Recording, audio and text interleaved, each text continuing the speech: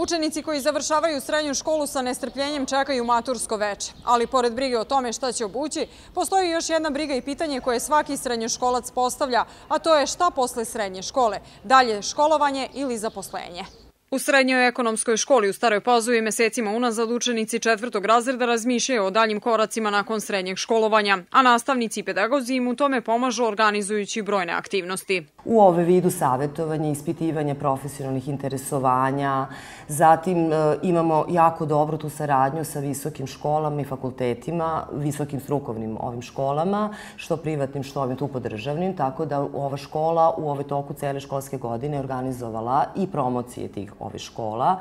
Zatim, e, savjetodavni ove radi i ove tipa individualni i ovde grupni koji ja sprovodim, međutim u školi postoji i tim za karijerno vođenje i ovo savjetovanje ovih džaka.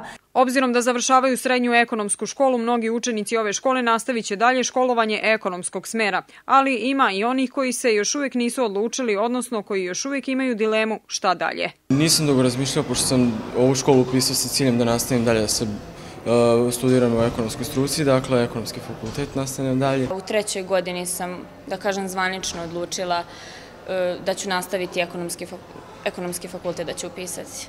Šta ti je najviše pomoglo u tome?